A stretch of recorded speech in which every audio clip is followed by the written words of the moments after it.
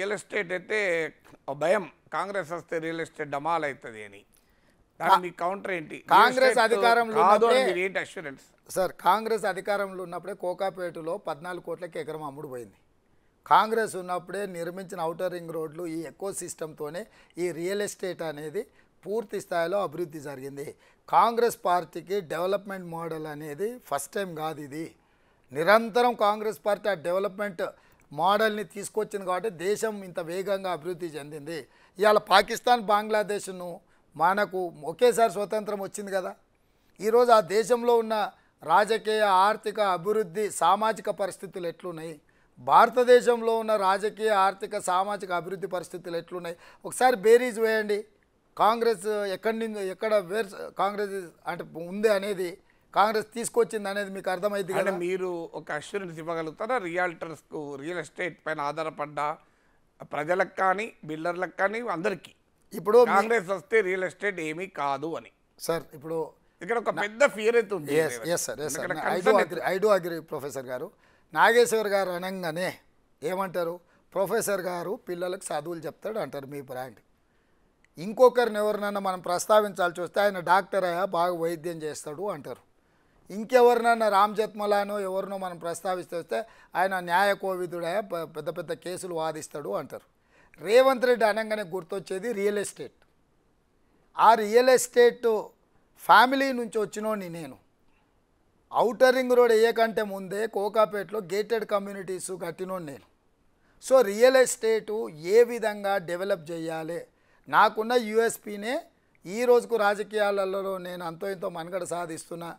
నా ఖర్చులు నేను పెట్టుకోగలుగుతున్నా. అంటే నేను రియల్ ఎస్టేట్లో అంతో ఇంతో సంపాదించిందే ఈరోజు నన్ను కాపాడుతుంది. కాంగ్రెస్ ఖర్చులు కూడా పెట్టుకుంటున్నారు సో రియల్ ఎస్టేట్ అనేది నా పేటెంట్.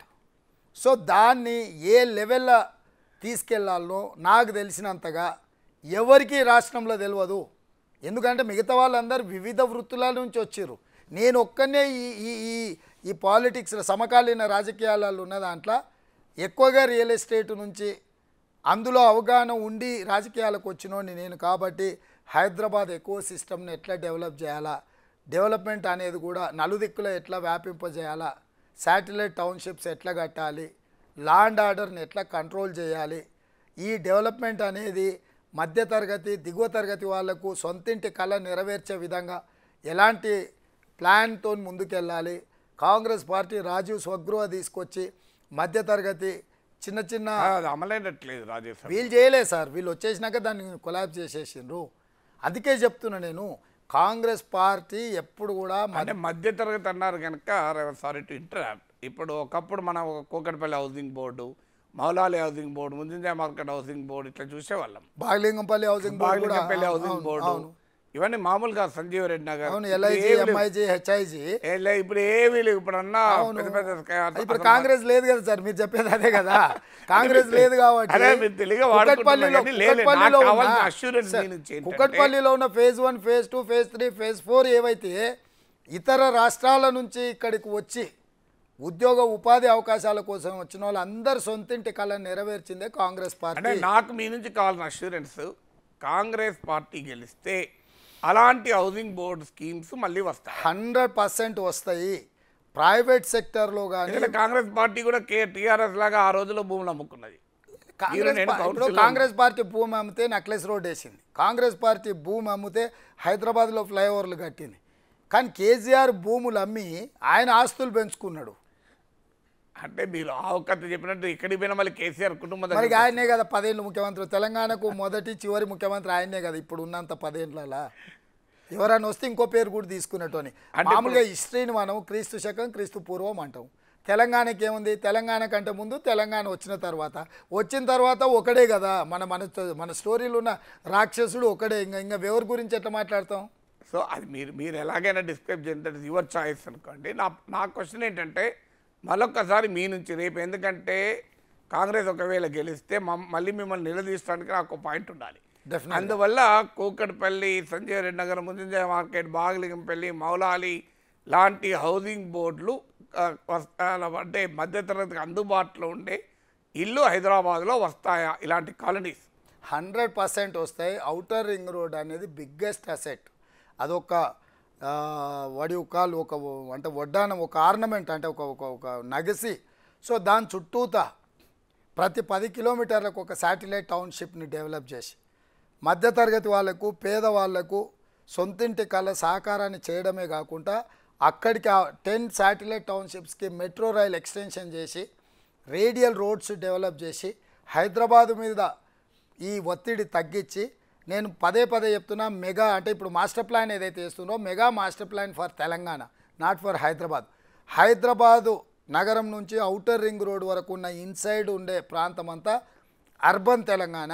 Outer ring road నుంచి రీజనల్ రింగ్ రోడ్డు వరకు ఉండే ప్రాంతాన్ని suburban Telangana regional ring road నుంచి తెలంగాణ సరిహద్దుల వరకు రూరల్ తెలంగాణ.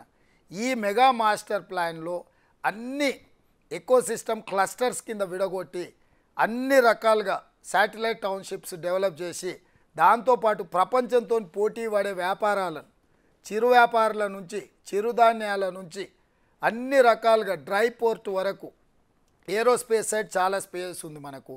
ఇవాళ బిజినెస్లో ఎంతో ఆపర్చునిటీ ఉంది. ఇవాళ కూరగాయలు పాలు పండ్లు ఆర్గానిక్ ఫుడ్ మీద మీకు తెలుసు ప్రజలు ఎంత స్పెండింగ్ కెపాసిటీ పెరిగినాక ఆర్గానిక్ ఫుడ్ మీద ఎంత కాన్సన్ట్రేట్ చేస్తుండ్రో. ఒకప్పుడు రైతు బజార్లో తీసుకొచ్చి రైతులు పండించిన కూరగాయలు కావచ్చు పాలు పండ్లన్నీ వాళ్ళే స్వయంగా మార్కెట్కు తెచ్చి అమ్ముకుంటే మా అందరికీ ప్రజలకు ఉపయోగపడే విధంగా ఆ రోజు తీసుకొచ్చినాము. ఆయన హైదరాబాద్ చుట్టూ స్పెషల్ హార్టికల్చర్ జోన్ కావాలని కౌన్సిల్ ఆ రోజు కూడా ఆ రోజు మనం మాట్లాడి చెప్పినాం మీరు రంగారెడ్డి జిల్లాలో భూములు అమ్ముకుంటారు ఒక డిగ్రీ కాలేజ్ లేదని మీరు నిలదీసిన తర్వాతనే రంగారెడ్డి జిల్లాలో ఒక్క గవర్నమెంట్ కూడా డిగ్రీ కాలేజ్ పెట్టలేదు అనేది బయటకు వచ్చింది. సో ఇట్లాంటి వ్యవస్థలన్నిటిని కూడా ప్రక్షాళన చేసి ఈ ఈ ఈ డెవలప్మెంట్ అనే దాన్ని రేషనలైజ్ చేసి సామాన్యులకు అందుబాటులోకి తీసుకొచ్చే విధానాన్ని హండ్రెడ్ పర్సెంట్ కాంగ్రెస్ పార్టీ తీసుకుంటుంది. ఈరోజు కేసీఆర్ మోడల్ మోడీ మోడల్ అదానీ అంబానీని ఎట్లయితే క్రోనీ క్యాపిటలిజంలో దేశాన్నంతా వాళ్ళకి అప్పచెప్పిండో కేసీఆర్ కూడా రాష్ట్రంలో ఒక నలుగురిని తయారు చేసి మొత్తం ఆర్థిక వ్యవస్థను వాళ్ళ చేతిలో గుత్తాధిపత్యంగా వాళ్ళకి అప్పచెప్పిండు. సో అది ఎప్పటికి ప్రమాదం కూడా మనకు వాళ్ళు ఎవరు అధికారంలో ప్రమాదము. ఉంటే వాళ్ళ చుట్టూ చేరుతారు. లే లే లే నేను అదే చెప్తున్నా. కాంగ్రెస్ ఉన్నప్పుడు చాలామంది అట్లాంటి వాళ్ళని తయారు చేసింది. కాంగ్రెస్ ఎప్పుడు కూడా ఈ క్రోనీ క్యాపిటలిజంని ఎప్పుడు ప్రోత్సహించలేదు. సో ఇప్పుడు తెలంగాణలో కూడా రేషనలైజ్ చేస్తాం. డెవలప్మెంట్ అనేది ఒక అంటే ఒక ఈక్వల్ బేసిస్ మీద దాన్ని ఆ రకంగా ముందుకు తీసుకెళ్ళడానికి కాంగ్రెస్ పార్టీ చేస్తుంది. నాకు చాలా క్లియర్ విజన్ ఉన్నది. ట్వంటీ ఫిఫ్టీ విజన్ డాక్యుమెంటు పూర్తి స్థాయిలో ప్రజా సంఘాల నుంచి మొదలు పెడితే మేధావుల వరకు చట్టసభలలో చర్చించిన తర్వాత అబ్జెక్షన్స్ కాల్ ఫర్ చేసి పాలసీ డాక్యుమెంట్ను పబ్లిక్ డొమైన్లో పబ్లిష్ చేసి అన్ని రకాలుగా అభ్యంతరాలను స్వీకరించి వాళ్ళ యొక్క సూచనలు స్వీకరించిన తర్వాత తెలంగాణ కోసం vision twenty fifty policy document తయారు కానీ చేస్తాము. జాగ్రత్త పడండి. విజన్ ట్వంటీ ట్వంటీ పెట్టి చంద్రబాబు నాయుడు అడ్రస్ ఆ అధికారాన్ని కోల్పోయారు ఆ ఎక్స్పీరియన్స్ తోని మనము కొంచెం ముందు జాగ్రత్తగా బాగా పరిచయం అనుబంధం ఉన్న నాయకుడు అందుకే తెలంగాణ మొత్తానికి కాంప్రహెన్సివ్గా ఒక పాలసీ డాక్యుమెంటును తీసుకొచ్చి ప్రపంచంలో ఉండే అన్ని రకాల అవకాశాలను ఇక్కడికి తీసుకొచ్చి ఈ తెలంగాణ హైదరాబాద్ నగరం బెంగళూరుతోనో కలకత్తాతోనో ఢిల్లీతోనో ముంబైతోనో పోటీ పడదు. ప్రపంచంతోనే పోటీ పడుతుంది.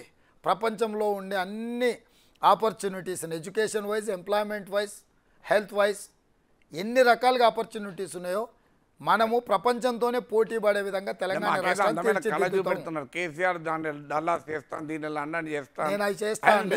వాళ్ళందరితో పోటీ పడి ఇక్కడ నుంచి మన మేధో సంపత్తిని ఎగుమతి చేస్తాం. ఇవాళ ప్రపంచంలో ఒక ఒక స్టడీ ఏం చెప్తుందంటే ప్రతి పది మంది ఐటీ నిపుణులలో నలుగురు భారతీయులు ప్రతి నలుగురు భారతీయులలో తెలుగువాడు ఒక్కడు. అంటే ఆ లెవెల్లో సిలికాన్ వ్యాలీలో second language Telugu Telugu yes so అట్లాంటాలో నిలబడి అప్పారావు అని గట్టిగా వెళ్తే నలుగురు వస్తారు. నలుగురు వస్తారు ఎస్ మరి అంటే ఆ స్థాయికి ఎందుకు వచ్చిండ్రు? రాజీవ్ గాంధీ గారు ఈ దేశానికి కంప్యూటర్ని పరిచయం చేసిండు. ఆ తర్వాత ఈ రాష్ట్రం అందిపుచ్చుకున్నది. సో ఆ సెక్టర్ని మనం గ్రో చేసినాం. అది సో అందుకోసం ఏంటంటే కొత్త ఆపర్చునిటీస్ని చదువుకునే యువకులకు అందుబాటులోకి తీసుకొచ్చి వృత్తి నైపుణ్యం తీసుకొచ్చి సెమీ స్కిల్డ్ లేబర్ కూడా. ఇవాళ నేను సింపుల్గా చెప్తున్నా టెన్త్ ఇంటర్ చదివి ఖాళీగా తిరిగే వాళ్ళకు ఇవాళ కారుకు ఒక మంచి డ్రైవర్ని యాభై వేలు జీతం ఇద్దామన్నా మంచోడు దొరకలేడు కోటి పెట్టి కారు కొంటాము. డ్రైవర్ దగ్గర ఏదైనా అటు ఇటు అయిపోతే వాడు తీసుకొని పోయి గుద్దుతే ఇరవై లక్షలు అవుతుంది.